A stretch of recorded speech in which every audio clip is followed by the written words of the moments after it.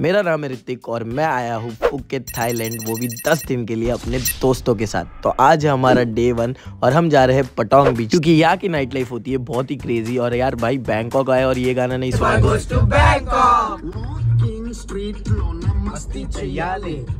फिर उसके बाद हम आ गए भाई यहाँ के सबसे फ़ेमस क्लब में जिसका नाम है इल्यूजन यहाँ पे भाई कुत्तों की तरह पब्लिक नाच रही थी। मतलब भाई मेरी तो नज़र ही नहीं हट रही थी यहाँ पे इतने लोग थे। क्लब के पार्टी करने के बाद हम बैठे यहाँ के टुक टुक में और हमने चलाया भाई।